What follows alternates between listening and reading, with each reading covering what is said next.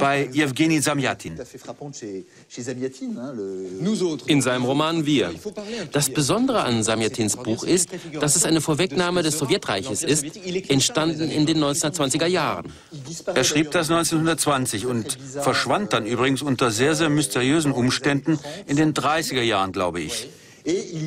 1920 malte er sich diese perfekte Stadt aus, eine Stadt aus Glas, in der alle Mauern aus Glas sind, aus transparentem Kristall. Aus Glas also? Aus durchsichtigem Kristall, ja. Übrigens, auch Dostoevsky verwendete im Zusammenhang mit Utopien und perfekten Städten den Begriff Kristallpaläste. Da findet sich der Gedanke wieder. Utopie als Verneinung der Undurchsichtigkeit. Exakt, die Transparenz ist gleichermaßen ein Zeichen von Perfektion und ein Mittel zur Einkerkerung wie ich es nennen würde, die allumfassend ist, denn es gibt ja keine Privatsphäre mehr. Alles wird vom Staat überwacht, unterliegt seiner Macht. Dann ist es wohl auch nicht so abwegig, wenn man die modernen Verwaltungsgebäude als Kleinstinkarnation von Utopie betrachtet, mit ihren Glasfronten und mit ihren Großraumbüros, in denen jeder jeden beobachten kann. Sicher. Man könnte sogar fast so weit gehen zu sagen, das Konzept Open Space ist eine Art von Spätfolge der Utopie. Eben sprachen wir vom Sowjetimperium. Das ist davon übrig geblieben. Wir sehen die Demontage der Lenin-Statue in Addis Abeba im Jahre 1991 nach dem Zusammenbruch des Sozialismus. Lenin scheint in der Luft zu schweben, so als ob er den Boden unter den Füßen verloren hätte. Jedenfalls, das bleibt von der Utopie, wenn die Freiheit zurückkehrt, die Unvollkommenheit des Menschen. Absolut. Aber allein schon die Vorstellung ist amüsant. Ein Bronze-Lenin mitten in Afrika. Das ist so abwegig, das geht ja geradewegs in Richtung Utopie. Aber eben eine fragile Utopie, die Gott sei Dank nicht unsterblich ist, im Gegensatz zu den Vorstellungen der Millenaristen oder auch des Marxismus selbst. Auf der anderen Seite hätte man ja auch denken können, dass mit dem Fall dieser Statue, mit dem Fall der Sowjetunion, auch die Ideen, die zur gescheiterten Utopie führten, erledigt seien. Aber das ist paradoxerweise nicht der Fall. Im Gegenteil. Wenn die menschenverachtenden Regime stürzen, die sich auf eine Utopie beriefen, dann kehrt die Utopie wieder zurück. Sie ersteht wieder wie ein Phönix aus der eigenen Asche. Das heißt, die Utopie als Idee ist unsterblich. Entweder sie verwirklicht sich oder sie erfindet sich neu. Ich finde das Beispiel Lenin in dieser Hinsicht besonders interessant und bezeichnend. Lenin hat eine gute Presse. Er kommt gut weg. Trotz der Ereignisse um die Meuterei von Kronstadt, trotz der Massaker Anfang der 20er Jahre. Stalin wird natürlich gemeinhin verdammt. Lenin aber kommt immer noch gut weg. Ist der Beweis für diese ja etwas paradoxe und für meine Begriffe auch beunruhigende Beständigkeit des utopischen Denkens. Das heißt, die Idee, die Sehnsucht nach Utopie stirbt nicht mit dem Untergang der Systeme, die sie verkörpern. Nein, denn das entspricht letztlich einer Grundvorstellung der menschlichen Kultur und des menschlichen Denkens. Dass man nämlich Perfektion erlangen kann. Dass man religiöse Werte auf die weltliche Sphäre übertragen kann. Darin liegt vielleicht im Grunde, wie ich glaube, auch Chesterton meinte, eine ewige Utopie. Lenin wäre dafür durchaus ein passendes Symbol, auch wenn er es selbst wohl nicht gern gesehen hätte.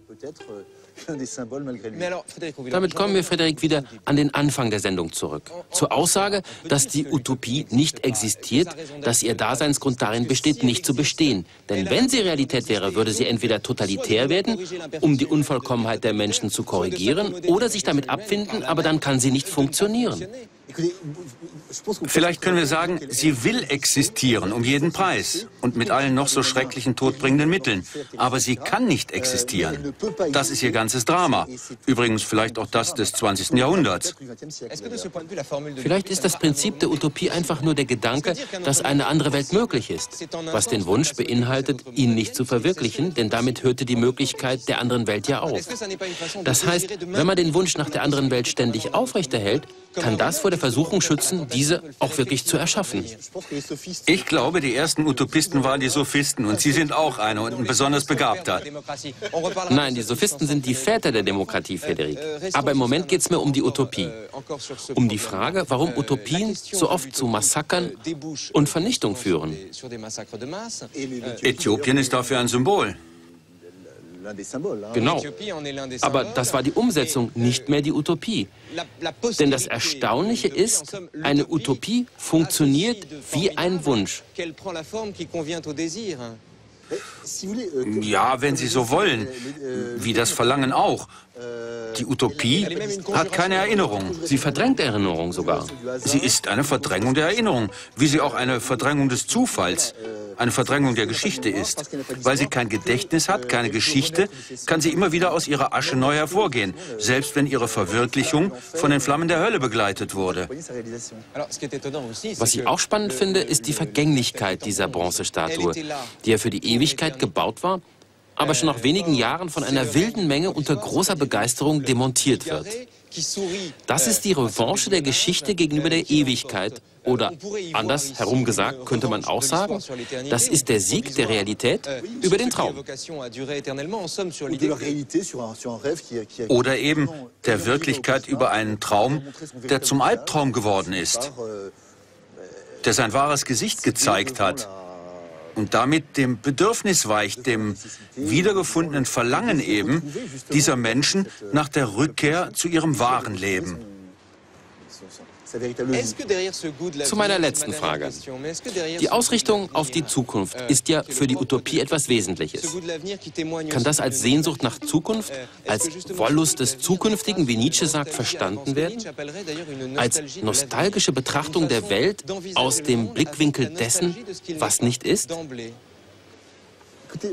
Wissen Sie, mit anderen Worten, Utopie spiegelt unser Bedauern wieder, in einer Welt zu leben, der etwas fehlt. Und das wäre vielleicht Ihr Mehrwert. In der Utopie zeigt sich, was die Realität uns nimmt. Da stellen Sie mir schon wieder so eine Falle. Dafür bin ich doch da.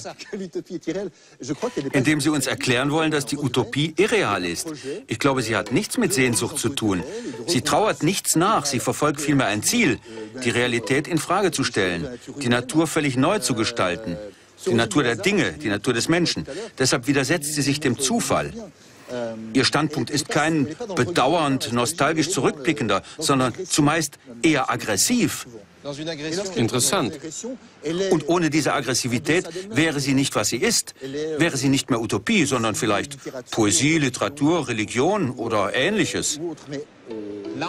Darauf können wir uns einigen. Auf die Poesie. Es lebe die Poesie. Auf die Literatur. Vielleicht ist die Poesie sogar das einzige wirklich glaubwürdige Mittel gegen die Utopie die übrigens selbst sogar bereit war, sich der Poesie zu unterwerfen.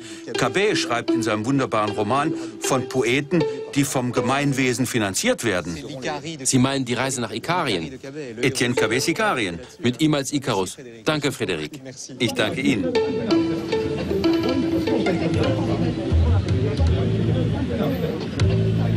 Thank you.